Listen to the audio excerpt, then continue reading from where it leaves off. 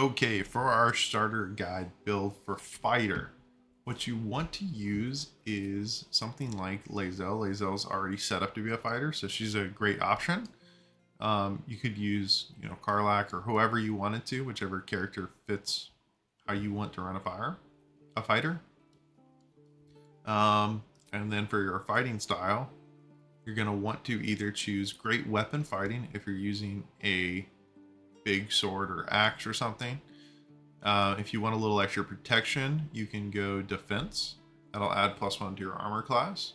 Protection's really tough to use. That's a fighter that's using a shield and they'd have to stand next to someone. If you have a small sword or like a long sword and a, a, a shield, what you're going to want to use is dueling. Dueling just adds two to every time you attack. It works really well with fighter. It just keeps that consistent damage. Um, and then if you would like a fighter that's dual wielding, you could do two weapon fire. But what I really recommend is just go ahead and go with great weapon fighting. Or if you're using a the old sword and board, sword and a shield, then go with dueling. Then we're going to look at our stats. I'm going to go ahead and clear them here because they're kind of weird. So for a fighter, your most important thing is going to be your strength. And we're going to try to want to try to get that as high as we possibly can. The reason being is that all of our weapon attacks are based off of strength. So if we have a 10 strength, we have plus 0 to a hit with our swords. If we have a 12, it goes up to plus 1, 14 plus 2, 16 plus 3. So we're going to put it at 17, which is the same as 16, but we're going to we're going to increase the strength to 20 eventually. For your dexterity, it's also somewhat important. It helps you with your armor class. If you feel like your you want your fighter to wear some medium armor, you probably want to get your dexterity up to 14. But if he's going to be wearing heavy armor, then you don't have to really worry about dexterity. Constitution is probably our next most important stat because that determines how much hit points you have. I like to throw about 14 points into Constitution because these stats, although they are the mental stats, intelligence, wisdom, and charisma, are still very important for me to be able to increase my saving throws as I'm fighting. So, for example, if someone wants to stop me from being able to move and they use hold person on me, it's going to be a wisdom saving throw. So minus one is, is really tough to deal with. So what I'm actually going to do is put my bonus into wisdom here. And we're going to do something like this. I think wisdom's probably the most important. Actually, we're going to do 12 into intelligence next and then 10 charisma. And wisdom saving throws are pretty common, especially for hold person and those type of abilities or anything that charms your character. It's normally a wisdom saving throw. And then if you're fighting mind flayers, those are normally intelligence saving throws. So I would probably do that next uh, as your next highest ability. And then, like I said, dexterity is not as important because dexterity saving throws are normally just for damage. You have a really big hit pool, you'll be able to heal yourself a little bit, you'll be fine from there. For your skills, I normally choose either athletics or acrobatics. Since I already have athletics, I'm going to keep that one there. That's fine. I don't need a point in acrobatics. When someone tries to push you or throw you, you'll use either an athletics or an acrobatics check, whichever one's higher to try to not be thrown or pushed. So you normally want to have one of those at a decent skill, especially for a fighter that's going to be in melee range. I already have a point in perception. I think that's kind of a cool little thing. And Lae'zel's already proficient with intimidation. You see the little thing that's from their background. So we get to pick a second one. I'm going to go ahead and choose... Let's go ahead and choose survival. And that way I can see if I can find some stuff on the ground, that type of stuff. So confirm, and we'll go into leveling now. So fighter is a pretty simple build, but you get a lot of options as you go through. As we hit level two, you'll notice we hit we get action surge. Action surge gives you an extra action to use immediately. This means that if you use action surge, you're going to get every extra attack that you get. And we'll go over extra attacks in a bit. So Level 2, you're going to be able to attack, use your action surge for free, and then do another attack. Let's continue on. At level 3, we're going to get our subclass. You also get a little race bonus, our subclass. So these are the three subclasses for a fighter. If you want a very simple, that you don't have to think about build, you can go ahead and go champion. Champion makes you crit more often, so it adds 5% chance to crit, which is really cool. And it's going to give you a bunch of bonuses that help with just generalized fighting. You're going to get oh, a few more. You're going to get an additional fighting style at some point in time. You're going to be able to, I believe, you get like a bonus to jumping and athletics. Um, it basically allows for just a, a better fighting style or a better fighter in general. So you also get a better jump. That's what it is. Sorry, and then you double your proficiency to anything that's strength or dex, or add half of it, I believe. Um, but it's not super. It's not super in depth. There's not a lot of skill cap to it. Again, you're just gonna walk up and fight. The Eldritch Knight is a little more complicated. It's probably the most complicated of the ones. You're gonna get spells that you can use. Um, but if you're swinging a big axe, a lot of times you don't want to be casting spells. The spell takes up your whole action. Well, that means you don't get to attack at all. Eldritch Knight is cool and thematic, and there's some builds that are very interesting with it. You also do get Weapon Bond, which is kind of neat. So if you do go this route, what I'd recommend is taking shield uh, spells like shields or protection from good and evil, things that you're concentrating on but you're not really doing uh, during the fight, or like shield, like I said, is a reaction. That's a cool little ability. Um, or like long strider here is really neat because uh, it increases your movement or expeditious retreat. You can concentrate on that until a long, basically until a long rest. And at all times, you can always dash as a bonus action, which is really cool. So it allows you to just get in the fight really well. My personal favorite is Battle Master. It gives you these pull of dice, and it's a it's a little more complicated, but you're going to get these things called superiority dice. You get four of them. They're they're a D8. The way that these work is you, they come back on a short rest, and then you're also going to gain three maneuvers that are going to use those dice. So, for example, you could direct an ally to strike an enemy. So you could use one of your dice to have an ally strike an enemy. Now this one's not as good because it doesn't really say it here, but it's going to use up your entire action. So I don't like it as much. The ones that I really like is something like disarming attack. So you spend a superiority dice, you deal an additional 1d8 damage. That's the superiority dice. So that goes up later on in the, the levels. And then they have to make a saving throw. And that saving throw is based on, I believe it's your strength. If they fail the saving throw, they drop their weapon. So now they're doing less damage in combat, which is really cool. I also really like this one, Distracting Strike. It basically distracts them a little bit. Now your allies get advantage on attacks. You could use evasive footwork. So it basically expends a dice to impose disadvantage on all enemies for a turn. The reason I don't like this one though is if you're the fighter, you're supposed to be the one that's kind of taking the hits. So if you use this, then the enemies might not want to hit you. The opposite of that, we're going to skip feigning attack, but the opposite of that is goading attack. You deal an additional 1d8, and you attempt to basically goad the target into attacking you, so they get disadvantage on everybody else. So I really like this one. It kind of helps force enemies to attack you, especially that one big guy that's doing a bunch of damage. This Disarming's another good one as well. Um, the other two that I want to show is Menacing Attack. Menacing Attack is the same as the other ones. You're going to add a 1d8 damage, but it attempts to frighten them. Now, frighten in this game makes it to where they cannot move. They have disadvantage on ability checks and attack rolls, which is really cool. So disadvantage on ability checks only, not saving throws. So spells are still going to be the same against them. But if you go to push an enemy that's frightened, it's more likely that you succeed, which is really cool. So you could, if somebody's near an edge, you could frighten them with a menacing attack and then push them off of a cliff, right? Precision attack is really important as well. You can use a superiority dice and add it to the attack roll. Now you could use a precision attack on something like a menacing attack. So that way you could guarantee that it hits. One thing that's really cool about your superiority, superiority dice is they don't use a d8 if you miss the attack. So you don't have to really feel like you have, you're required to hit it. Um, pushing attack will push someone back a bit. Works really well if they're near an edge. Rally just uses one of your dice to give an ally 8 temporary hit points. It only lasts for 5 turns, but it's kind of cool.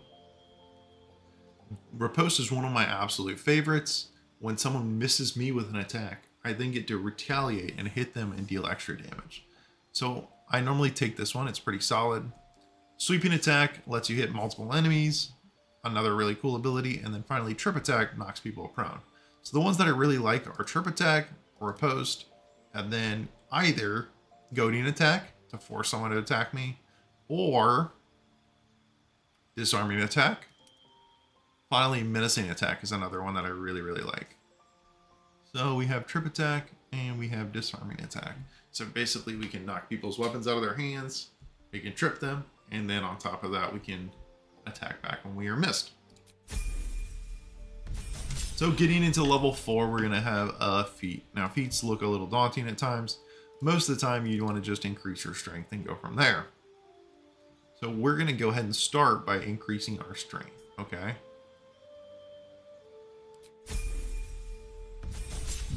As we continue through level 5 is where you get your extra attack. So now when you use your action surge, you're going to be able to make two attacks again. So you make your two attacks, use your action surge, make another two attacks. That's four attacks in a turn. Really solid. When we hit level 6, we get an additional feat. Well, our strength is already 19, so if we do this, where do we put our other point at? You could put it into something like Constitution or any of the other things to make a better save, or you could look at some of the other options. You do something cool like this, like Athlete, you could put one point into Strength, and whenever you're knocked prone, you can stand up a lot easier, and your jump distance is also a little further. I really recommend Athlete to a newer player. It allows for you to be able to get pretty far in uh, combat. Jumps are hilariously like you jump so far it's kind of hilarious. Another really good option is great weapon master. Whenever you land a critical hit with a melee attack you can make another one as a bonus action so that one's really cool. Um, if you want to be tankier you could also take heavy armor master. Where's that there it is heavy armor master. So this could also increase your strength by one so now you're at 20 and then it reduces incoming damage from non-magical attacks by three. Now that stacks with heavy armor too. So some of the better heavy armor in the game will reduce the damage you take by three. So these will stack and you basically every time you get hit, you take six less, less damage, which is really, really strong. So we'll go ahead and do this one um, for now. Another cool other options you could do is Great Weapon Master. Again, like I said, it's it's going to add extra damage, but it's going to make you hit less often sometimes it's worth, sometimes it's not. It kind of takes a little bit of time playing the game to really understand whether it's good or not. Um, Sentinel's not the best feat for a newer player because how it interacts is kind of tough. Uh, you could always do the Polearm Master Sentinel, which is what this character was originally set up as. That's why it's got the giant halberd. Um, but we're not going to go over that in this video. So we're just going to choose Heavy Armor Master and continue on from there. Okay, we hit level 7 fighter. This is where we get two more maneuvers. So I'm going to grab two of the ones that I really liked earlier. We're going to grab Goading and Menacing. Okay, and when we hit level 8, we now get a additional feat. Um, and I think my idea here to, is to build a character that you can just put in, play, and do quite a bit of stuff with it. I'm going to do mobile, so your movement speed increases slightly, and difficult terrain doesn't slow you down when you dash. Um, it just makes you a little faster and able to get to the enemies a little better. If you don't like this, you could also go Savage Attacker, especially if you're using like a Great Axe, it'll roll it a little better. Or again, like I said, Great Weapon Master. But we're just going to grab Mobile for now. Uh, level 9 you're going to get indomitable. So we're talking about those saving throws that stop you from doing anything. This gives you a chance to succeed again. So, or basically, if you fail on your first saving throw, you can use this feature. And it's only, I believe it's once per long rest. It doesn't say here. But you can re-roll the dice and possibly succeed when you're being held in place. All right, and then at fighter level 10, this is what we're talking about, improved superiority dice. So now you add a d10 instead of a d8 to those damage. And we're going to pick up two more maneuvers. It seems like a lot, but you'll kind of figure out which ones are good and which ones you like doing um, as you're kind of going through it. We're just going to pick up some stuff that we're going to use as not, basically not as part of our attack. So I'm going to pick up evasive footwork here. Um, and precision attack to help me hit. Like say there's a guy that's really tough. I want to make sure I hit. Actually, you know what? We're not going to take precision because we didn't take Great Weapon Master. We're instead going to take sweeping attack. That way I can attack in an arc. Our 11th level of fighter is going to give us an, another extra attack. So this does not, none of the extra attacks stack together in this game, with one exception. That has to do with Warlock, but it doesn't work in higher difficulties. So improved extra attack means we make three attacks per turn, and then on top of that, we're able to action surge once per short rest and do another three attacks. Finally, at level 12, we can get another feat if we'd like, but I've kind of got all the feats I want. You can take this time, if you're not on easy difficulty, to add a different class. So maybe you wanted to add Warlock, or Cleric, or Rogue, or anything like that, that um, just to get some spells like Druid. I'm going to actually add Warlock here. Now, the reason being, uh, I want to go ahead and grab some ranged attacks. It's nothing amazing. And we'll grab Mage Hand, sure. For my subclass, it's really not going to matter. I'm going to take the Great Old One, though, because we only have one level in Warlock. And what this will do is whenever I land a crit, there's a chance that they become scared, and enemies around that become scared. We are going to get two first level spells. Honestly, the only reason I'm here is I want Hex. So I'm going to go ahead and grab Hex, and we'll grab Armor Agathys as well, just in case. Just a little extra temp HP, doesn't really do much. And that's it. That's our complete level.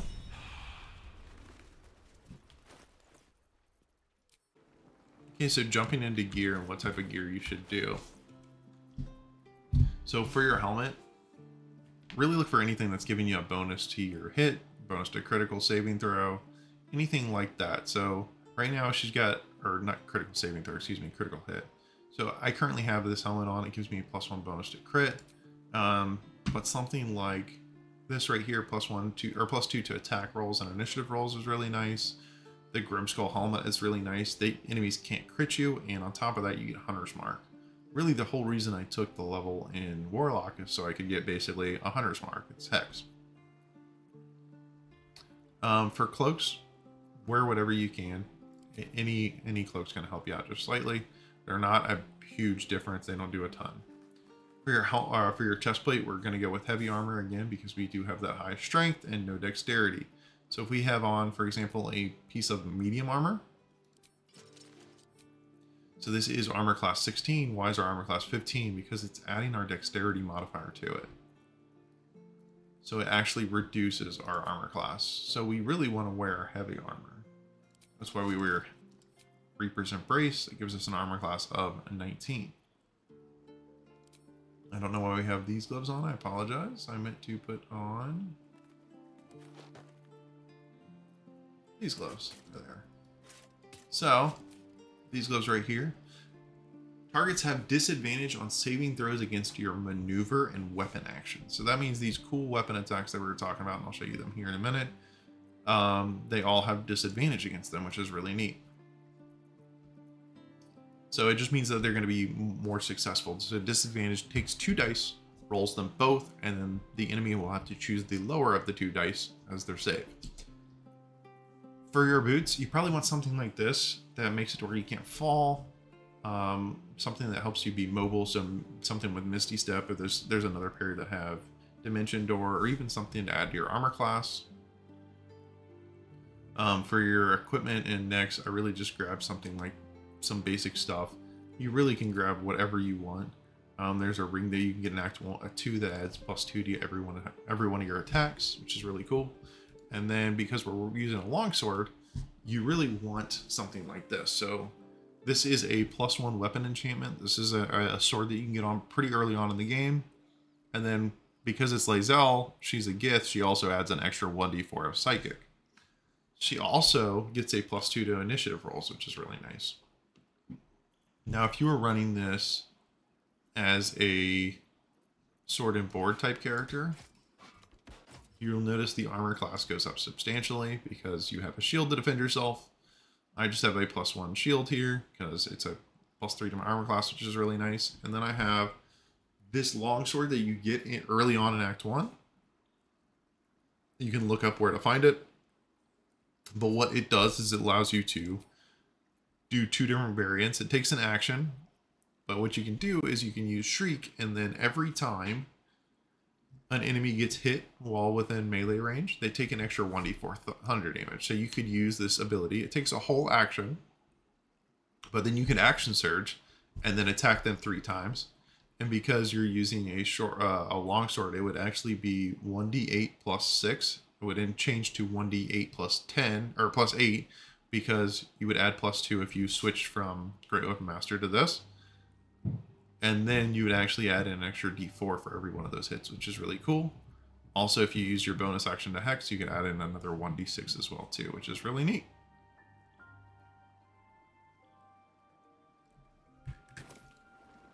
So how do you use this build to fight? Gonna go ahead and show off one of my characters here. So this is another enemy. What you would do is if we were in, I'm gonna put it in turn-based mode so you can see exactly how it works. The first thing you'd want to do is Hex. And when you press Hex, a bunch of crap pops up. You want to just choose one of these. It honestly doesn't matter. I would always choose either Dexterity or Strength so we're to go ahead and click Strength, and we're to Hex our enemy. That means when we hit him, it does extra damage. And we're going to walk up and attack. Alright. So you see when we attacked, it did 1d8 slashing plus 1 for the weapon, and then plus 5 for our strength, so it's 11 damage total. And then it adds in that extra d6 from Hex. Now, if we were wielding a two-handed greatsword and we attack, it will instead do quite a bit more damage. It does the 2d6 slashing, psychic damage, and the necrotic. And if you notice, it's re-rolling all these different items here. So that way you end up with quite a bit of damage. So each one of these is doing, what, 21 damage a hit, even without Great Weapon Master. So don't feel like you're required to take it. Let's see if we can hit it again. Bam. So that was 23 damage for that one. Also, if you wanted to use your trip attack or your menacing attack, see that it does quite a bit more damage. He did save against it, but it still did an extra 1d8 of damage. I think it's in here somewhere. do a trip attack see if it does it this way. There we go. So now you can see the extra 1d8 of damage. So it does 2d6 slashing plus our strength modifier and then plus 1d10, sorry, of slashing. And then it adds in our psychic and our necrotic. Again, it's re-rolling a lot of that damage for us as well, which is really neat.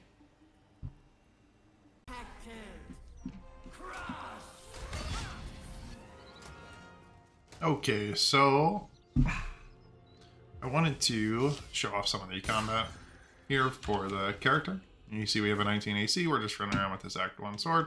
We don't have anything in crazy as far as gear goes. Everything's pretty well accessible. And you see the enemies are missing quite a bit because of that high armor class value.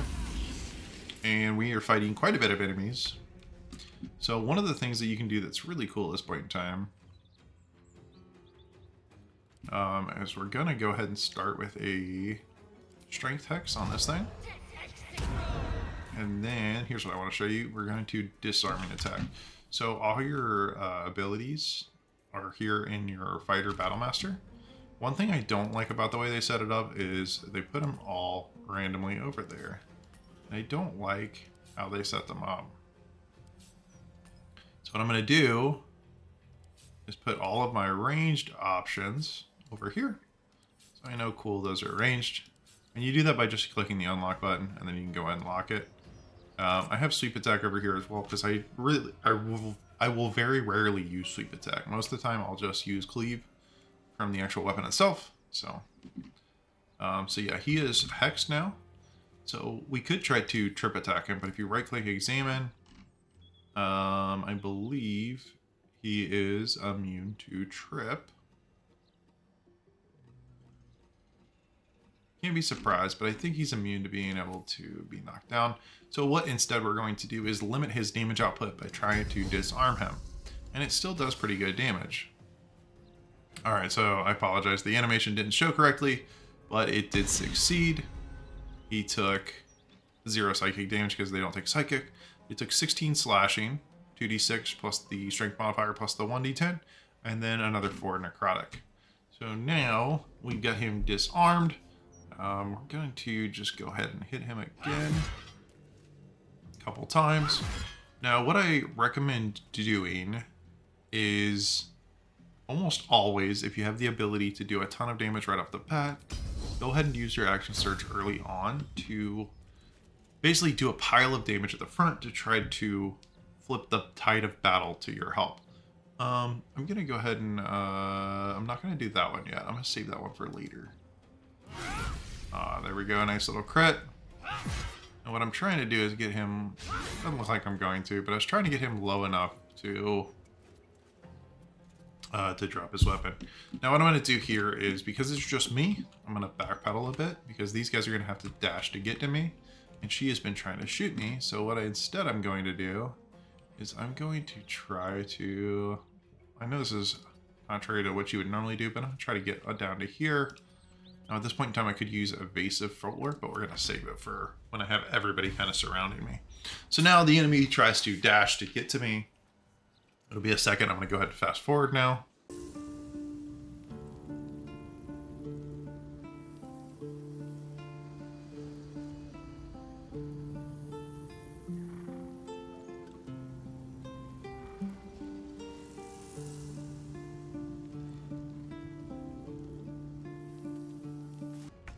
So you can see how many enemies wasted their turn by dashing.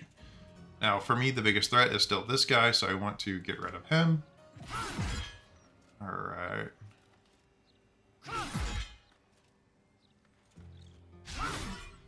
Ooh, unlucky.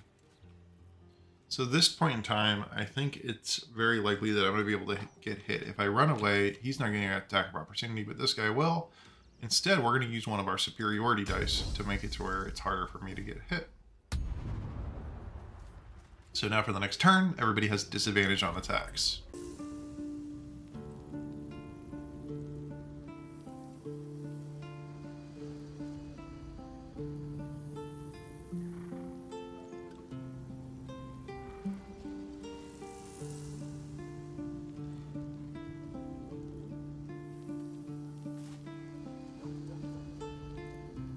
Alright, so it is back to our turn. You see that unfortunately we missed our attack. And now it's going to be hard to finish this guy off. We're going to go ahead and use our second wind here. It's really nice for topping us off. Um, and what I'm going to do...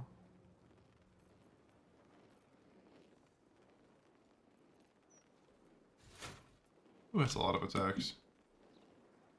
Alright then, let's go ahead and do this. And try to fight my way through these guys.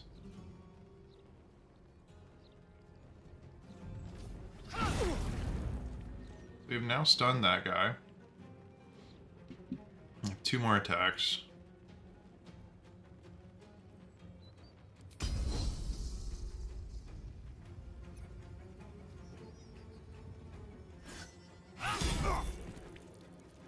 Cool, and we have this guy knocked prone. I'm going to use Lacerate. That's a specific weapon to the sword on this guy, because it pretty much guarantees it hits. And then, even though I don't want to, I think we're just going to use our last evasive action here, and hope for the best.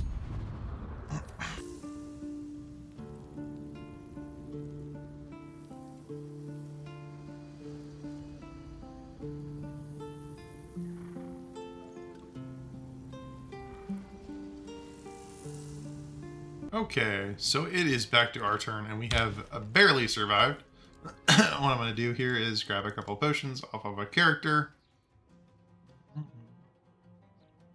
Doesn't look like we... Oh, they're right there. Send to Lae'zel. So we're going to start by drinking one of these to make sure we hang in all right. And then, I use my first attack to throw a healing potion. So if you throw it at the ground at your own feet, it'll hit you. So now what we want to do at this point in time, we've done a decent amount of damage, but we really want to get rid of the guys that are low in health. So we're going to try to hit this guy. Cool. So now there is one less guy attacking us. I want to stay where I am again. I don't have my uh, Battle Master to make, make it harder for me to be hit this turn. See, this is another reason why you want to focus one target at a time, because you see she now healed this guy back up to full, because I did hit him earlier.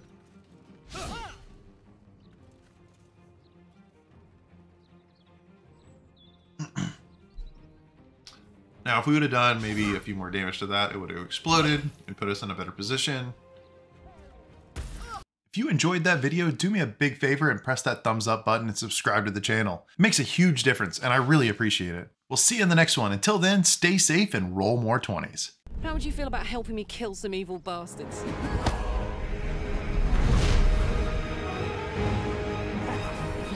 Blessed.